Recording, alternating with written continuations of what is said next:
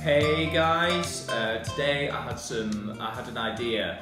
Today I thought I'd do some painting, uh, and so I'm going to be following a Bob Ross tutorial on how to paint. Uh, there is one problem in that he usually has a big canvas, and I was like, oh, I've got a big canvas, I might as well use it. And then uh, I found the canvas, and um, it's. Uh, so today I'm going to be doing a small version of a Bob Ross painting. Uh, now I'm not very good at painting. Uh, I found these brushes. I've got some paints somewhere. I'm using this old pizza base as a, as, as his uh, what's the thing that he holds, whatever that is. So we'll see how near I can get. Uh, I would say it's probably going to end up pretty shit. It's going to end up more more abstract than than realism.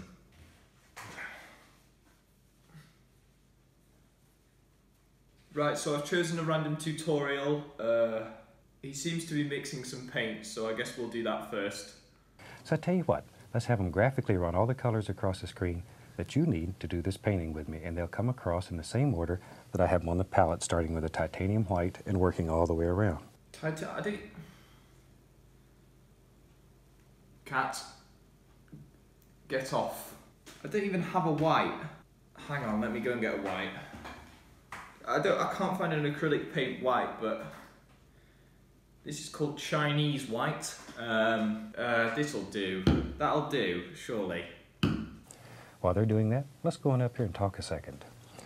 This is an 18 by 24 canvas. This is a double primed pre-stretched canvas and I've covered it with a nice thin even coat of the liquid white which makes it wet, makes it slick. It allows us to actually blend color right here on the canvas. Now then, Let's start right up in here and we'll use little, little crisscross strokes. Just make little X's. And let's put in a happy little cloud, little sky. That is not working the way it's working on his. And this phthalo blue is very pretty. bright and shiny. It's a happy color. It's a little bit. See, and that easy, that easy, you have a quick little sky. Oh no. Maybe we'll have a little water in here. So we'll just pull right across like this, very gently, and pull from the outside in.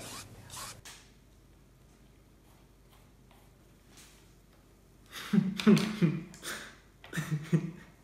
think I was supposed to coat the whole thing in white or something before I started. Uh, but I didn't do. Maybe that's why. Mm. It's not looking like his. And then just beat the devil out of it. Okay, load a lot of paint into the brush. Let's go up here now. Now maybe there's a happy little clouds that just sort of float right around in the sky and have fun. And these are just little floaters, little happy clouds. Little floaters. That's what I'm doing. Some little floaters. And you can put as many or as few as you want. Okay, now then, we'll take clean, dry. Be sure it's dry. Two inch brush, and I'm gonna just gently blend it using tiny little circular strokes, tiniest little strokes. And just blend this together. Then I'm gonna take some black, some Prussian blue, some Van Dyke brown. Hang on, he's got some sort of knife. Yeah, he's got some sort of samurai blade. Hang on. Pull it out very flat and then cut across so you have a small roll of paint right out on the edge of the knife. There you go. I don't have anything like what he's got, but this will do. Now then, you have to make you have to make an almighty decision. Where's your mountain live? I think he's going to live.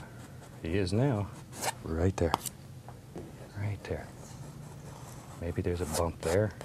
That has not worked at all. You just sort of make a decision and, and put it in.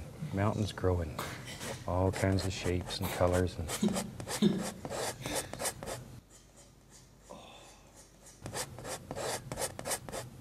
there, you're restricted only by your imagination. I'm restricted by the fact that I don't have one of them swords, Bob. Not just my imagination. Alright, you know that's not working. At all. I'll just use a brush. This was a dry canvas, you'd be in Agony City right now. I am in Agony City because it was a dry canvas. Let's put some snow on this mountain. For that, I'll take the titanium white and pull it out very flat. Oh, he's got the knife back out. So let's go right here. Touch, no pressure. Just the weight of the knife. No pressure. You see there? Let it float right down the side of that mountain. Look at there. Look at there. Oh wait, I need the knife again. Oh no, there's paint on the table. Oh, I'm just making it worse. Uh. Oh, that is looking awful. Oh, that works. Oh shit.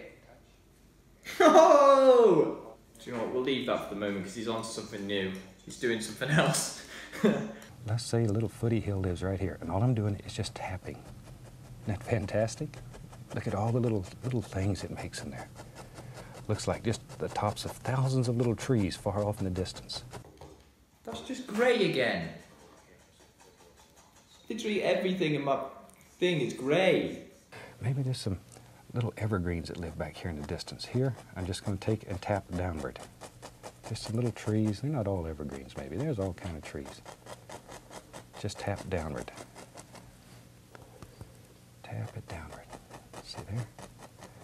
Now these are a little closer, so you're beginning to see a little more detail.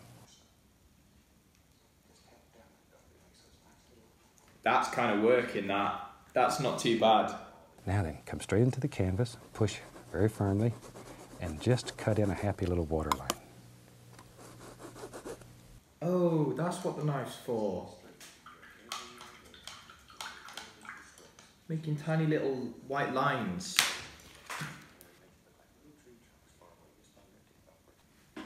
Hang on, he's going on to like like something else now, so I need to reorganize myself. Right, I'm ready to go again. Now then, maybe, tell you what, maybe a happy little evergreen lives right there. We touch, then just the corner of the brush, begin working back and forth. Oh, this is working. This is working. Oh, I'm loving that. Okay, let's make some let's make some leaf trees. To do that, we pull the brush through the paint like so. Let's put a happy tree that lives right here. Touch and give it a little push. Just bend the bristles. See there? And then form your tree. Just like so. There it comes. Just bring all that right on together. That's just. Uh, no, it's just. That's awful now. Oh fuck! Did I just put paint on my.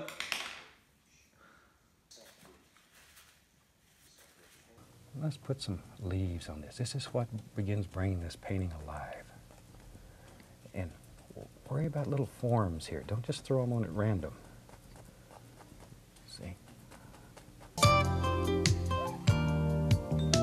Right, sorry about that. The camera ran out of storage, but uh, here's the finished product. I mean, it's not that bad. It's not that good either, but um, I'm a little bit embarrassed of myself. Uh, I don't know why I painted the sides blue either, uh, but I think I wasn't aided by the size of the canvas much. But there's there's one last thing still to do.